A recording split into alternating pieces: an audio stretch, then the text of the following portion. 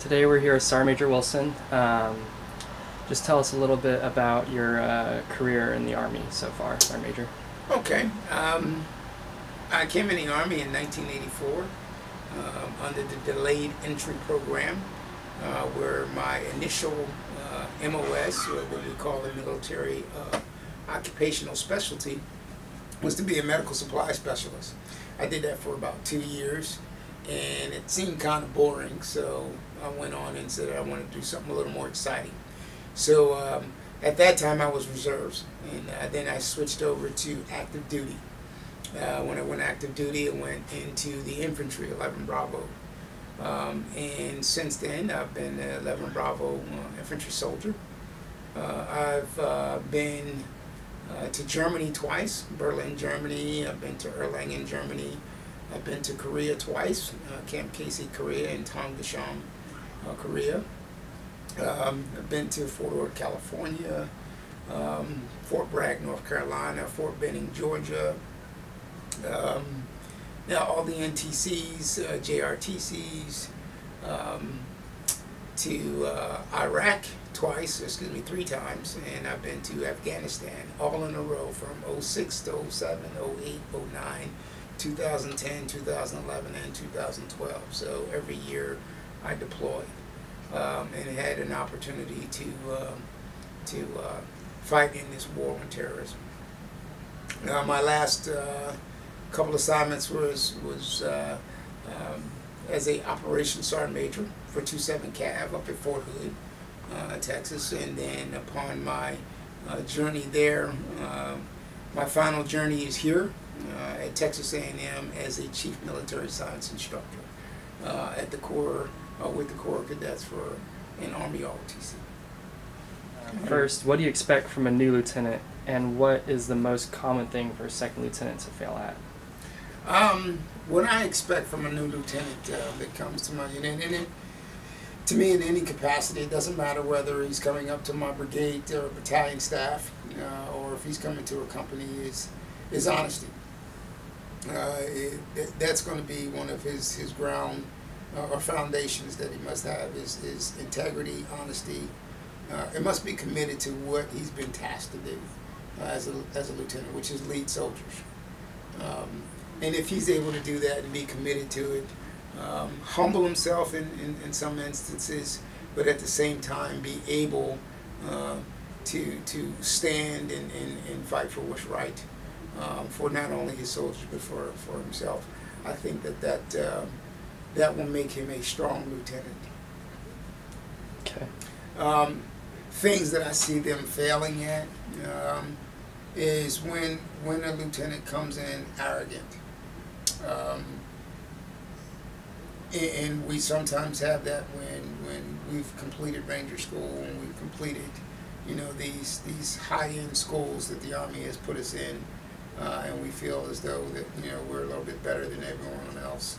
Um, when we really don't understand the simple fact that you know that was just a school, it was a prestigious school, but there is more to my position, my job, and understanding what is expected of me than that one school.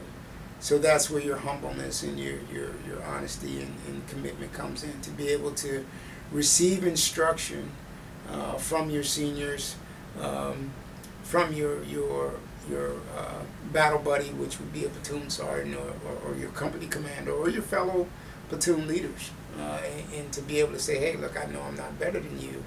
Um, however, I'm gonna do my best to be the best at what I do um, if you have that that uh, mentality uh, and not be cocky and, and, and you know, um, like I said before, arrogant, then I think he could be very very successful.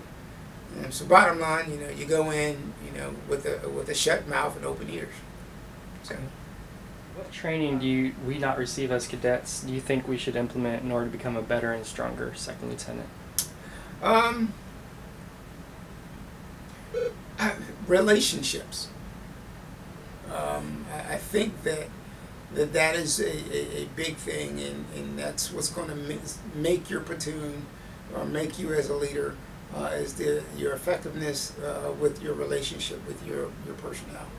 Um, am I saying that you you know you, you need to you know, be buddy buddy with your guys. They need to understand how to deal with different uh, situations, um, different cultures.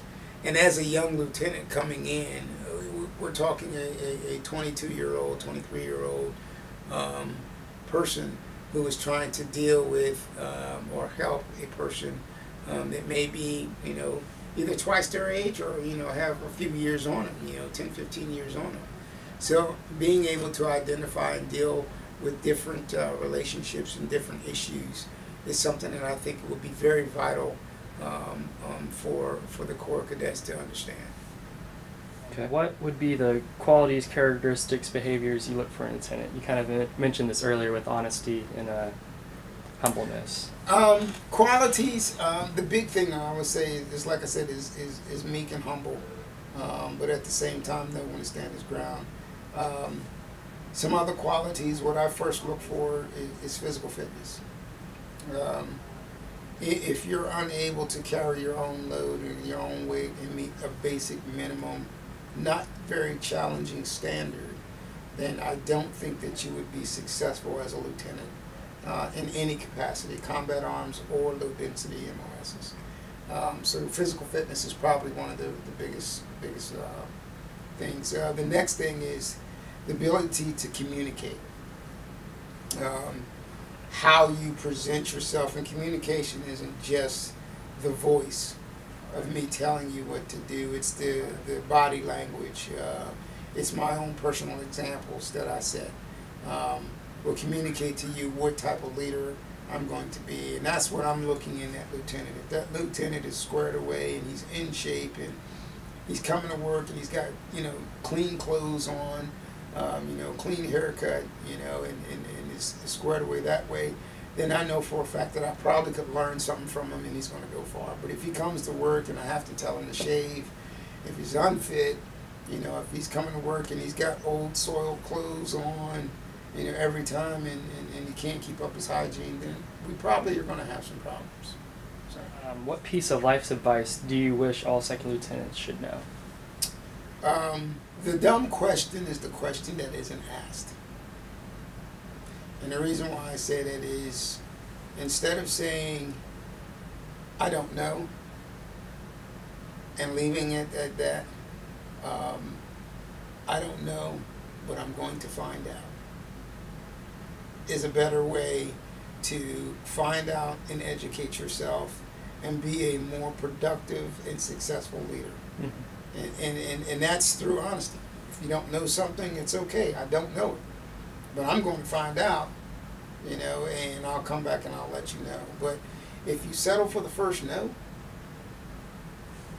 then you're probably going to be a pretty weak leader. The last question is what was the last leadership book you read? Ooh, um,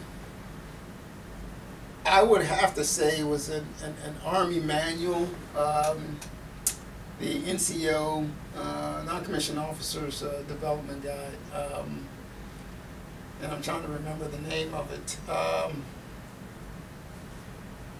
oh, man, I want to say back in the day it was TC uh, TC-7, uh, but now it's uh, TC-25-7 uh, which is a leadership guide on the communications of a non-commissioned officer with his his uh, officer.